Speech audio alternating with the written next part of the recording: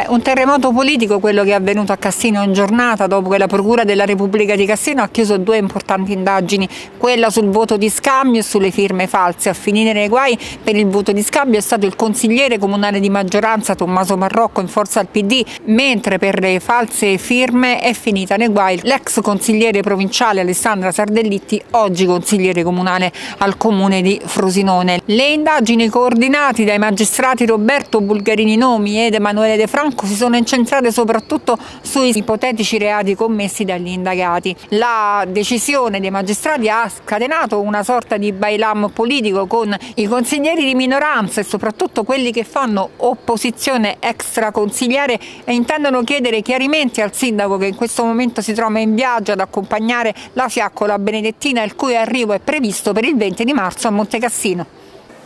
Ma noi abbiamo notizie eh, dagli organi di stampa, notizie della conclusione di due eh, indagini che eh, sono state anche eh, molto eh, approfondite e, e con una, un lasso di tempo importante. Eh, e da queste notizie degli organi di stampa vengono fuori la, la prima indagine, quella sulle firme false a sostegno eh, della lista del PD. Ora il problema non è solo, eh, non solo riguarda coloro che sono eh, indagati, sarebbero indagati, eh, che sono col colui o colei che ha sottoscritto, ha autenticato le firme e altre due persone. Eh, questa indagine ha delle ripercussioni importanti, eh, fondamentali direi, sulla, sulla vita politica cittadina, perché eh, riguarda la presentazione della lista del Partito Democratico che è il, la lista, il partito che ha sostenuto maggiormente la candidatura a sindaco del, dell'attuale sindaco Salera. Eh, quindi capirete bene che delle irregolarità, in questo caso delle falsità, neanche solo irregolarità, eh, vanno a inficiare tutto il, il sistema eh, elettorale di, di, quella, di quella coalizione. E quindi al di là del fatto se queste firme, io ho letto 47 eh, firme sarebbero state eh, non autenticate regolarmente o false, questo non l'abbiamo ancora capito, ehm, e se queste 47 firme eh, superano meno la, prova, la cosiddetta prova di resistenza, ma al di là di questo sono delle regolarità talmente importanti che ci fanno pensare, anzi ci fanno assolutamente mettere eh, nelle condizioni di richiedere dei chiarimenti a questa amministrazione e, eh, ed anche al, al, prefetto di Frosinone. Poi parallelamente, guarda caso proprio nello stesso momento, eh, si concludono le indagini anche di un'altra eh, indagine appunto che riguardava il cosiddetto voto di scambio e che coinvolge questa volta direttamente un consigliere comunale, guarda caso, del, del Partito Democratico. Quindi ci troviamo di fronte davvero a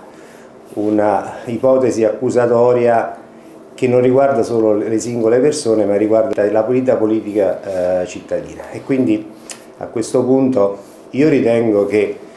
se le cose dovessero essere confermate, ma anche solo in questo stato giudiziario c'è una delegittimazione dell'attuale amministrazione, perché ricordiamolo, la lista del Partito Democratico è la lista maggiormente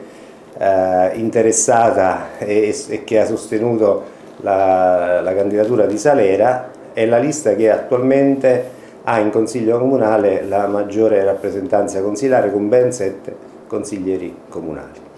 Quindi adesso io mi vedrò con alcuni dell'opposizione, dell vediamo che cosa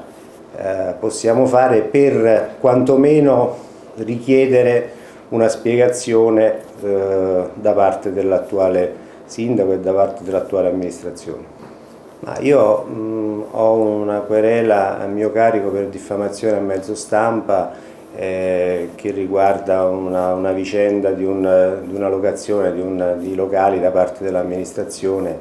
eh, ma al di là di questo noi siamo rimasti mh, per molto tempo, durante tutto il periodo di queste indagini, silenti perché abbiamo rispetto nella, nel, negli organi eh, inquirenti, abbiamo rispetto nella magistratura e quindi non volevamo, sapevamo chiaramente di questa, di questa indagine e della gravità